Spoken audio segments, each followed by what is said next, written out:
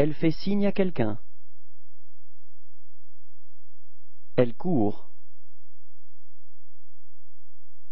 Elle prend un thé. Elle lit le journal. Elle tient un ballon. Elle se baigne. Elle vole sur son balai. Elle fait un château de sable. Elle danse. Elle trinque.